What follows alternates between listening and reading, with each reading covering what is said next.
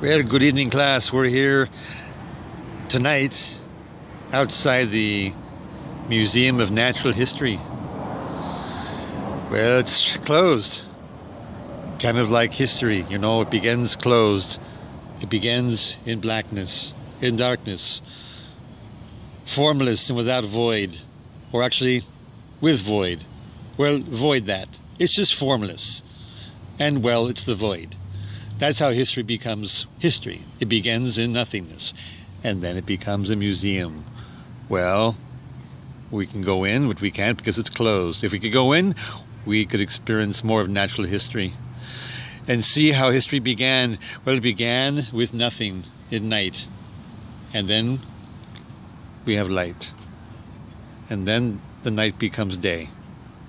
Henceforth, we have day and night.